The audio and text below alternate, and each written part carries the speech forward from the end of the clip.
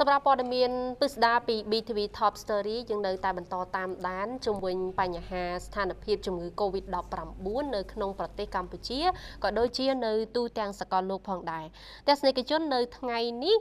ក្រសួងសុខាភិបាលតាមរយៈលោកជំទាវអាវ៉ាន់ឌិនរដ្ឋលេខាធិការនិងជាអ្នកនាំពាក្យរបស់ក្រសួងនេះបានធ្វើការប្រកាសច្រានចោលទាំងស្រុងជំវិញការចុះផ្សាយរបស់សារព័ត៌មានអង្គរថាមដែលបានធ្វើការផ្សព្វផ្សាយតាមរយៈប្រព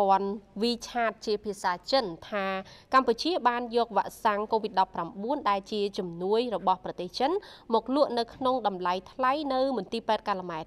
ក្នុងនាមឯកឧត្តមសាស្ត្រាចារ្យម៉មុនហេង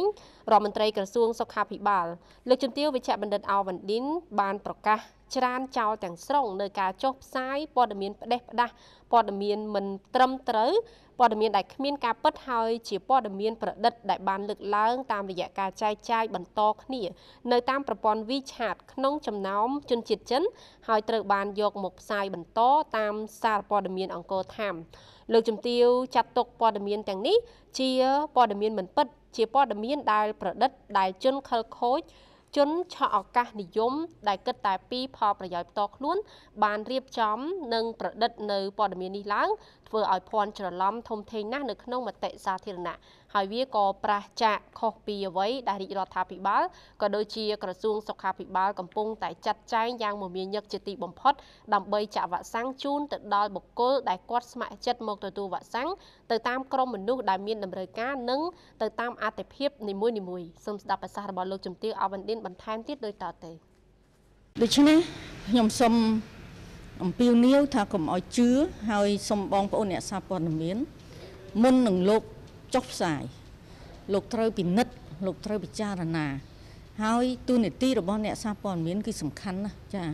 ពេលខ្លះអ្វីដែលយើងចុះទៅវានឹងមានការប៉ះពាល់វានឹងមានការធ្វើឲ្យមានការផន់ច្រឡំវានឹងធ្វើឲ្យមានការបំពុលនៅក្នុងសង្គមរបស់យើងចាធ្វើឲ្យប្រជាពលរដ្ឋរបស់យើង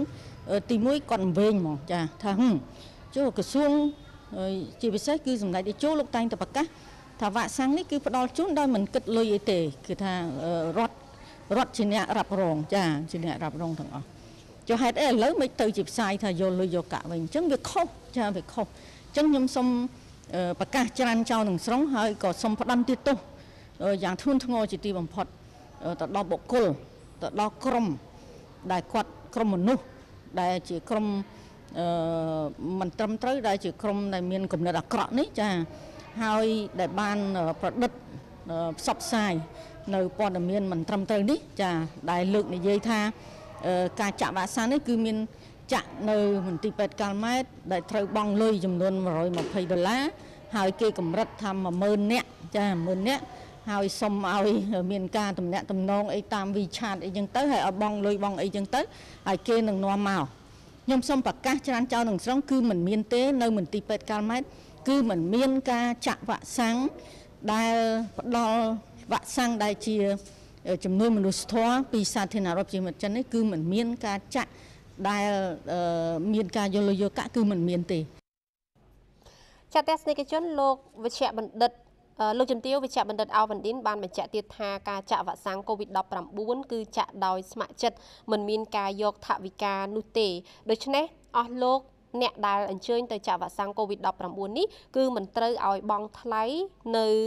វ៉ាក់ថ្លៃវ៉ាក់សាំងឬក៏បង់ថ្លៃធ្វើដំណើរនិងថ្លៃអ្វីផ្សេងនោះទេសូមបញ្ជាក់ផងដែរថាសារព័ត៌មានអង្គរថាមបានចុះផ្សាយខុសពីការពិតនៅអ្វីដែលរាជរដ្ឋាភិបាលក៏ដូចជាក្រសួងសុខាភិបាល បានផ្សព្វផ្សាយជូនដល់ប្រជាពលរដ្ឋគឺសារព័ត៌មានអង្គរថាមនេះគ្មានចុះបញ្ជីនិងសុំអាជ្ញាប័ណ្ណពីក្រសួងព័ត៌មានត្រឹមត្រូវនោះឡើយ។